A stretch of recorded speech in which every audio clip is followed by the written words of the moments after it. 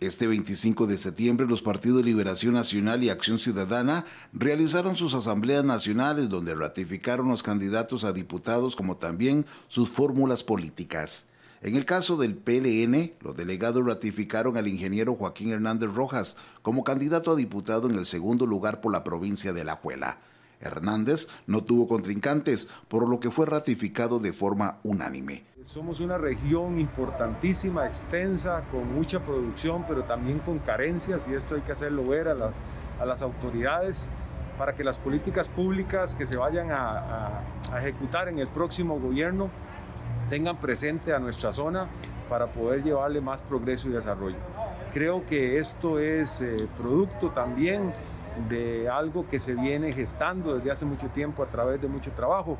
Y lo que le quiero decir es que voy a representarlos dignamente con todos mis conocimientos y capacidades para que se sientan eh, bien todas las personas de, de estar representadas en un órgano como es la Asamblea Legislativa. Los verdiblancos también ratificaron los candidatos a primera y segunda vicepresidencia del Partido Liberación Nacional, Álvaro Ramírez y Laura Arguedas. También se ratificó a Rodrigo Arias Sánchez como candidato a diputado por el primer lugar de San José.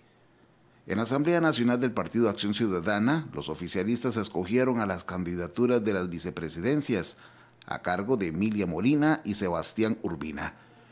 Wilmer Ramos logró que la Asamblea le ratificaran sus cinco candidatos que tiene derecho a escoger como Rogis Bermúdez y Marcia González, ambos de la provincia de San José, el primer lugar de Cartago Luis Fernando León y el primer lugar de Alajuela, Ana Argüello.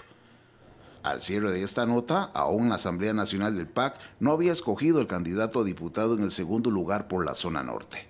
Como lo informamos en su momento, los precandidatos inscritos son la contadora y especialista en marketing Heidi Murillo, el profesor del Instituto Tecnológico de Costa Rica Luis Eladio Rodríguez, el politólogo Jorge Tortós y el abogado Juan Gerardo Alfaro, esta información la daremos a conocer en nuestras redes sociales.